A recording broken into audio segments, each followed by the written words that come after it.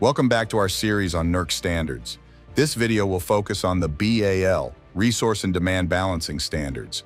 Let's dive into the key standards in this category. BAL1, Real Power Balancing Control Performance.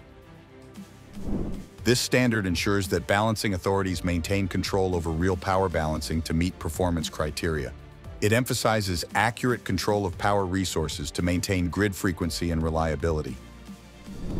BAL1TRE, Primary Frequency Response in the ERCOT region. Specifically designed for the ERCOT region, this standard ensures sufficient primary frequency response during grid events, contributing to overall grid stability and resilience. BAL 2.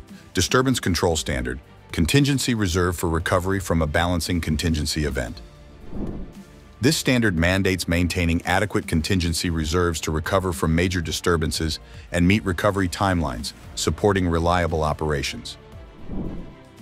BAL2, WECC, Contingency Reserve. Focused on the Western interconnection, this standard specifies requirements for contingency reserves to address system disturbances, ensuring alignment with regional reliability needs.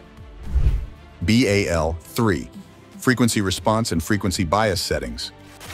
This standard defines frequency response and bias settings requirements to maintain system frequency stability during imbalances and disturbances. BAL4, WECC, Automatic Time Error Correction. Designed for Western interconnection, this standard ensures automatic correction of time errors, improving the accuracy and reliability of system operations. BAL5, Balancing Authority Control. This standard outlines requirements for maintaining effective balancing authority control, ensuring the grid's reliability through coordinated operations and communication. BAL502RF, Planning Resource Adequacy Analysis, Assessment and Documentation. This standard focuses on planning and documenting resource adequacy to ensure sufficient resources are available to meet forecasted demand and maintain grid reliability.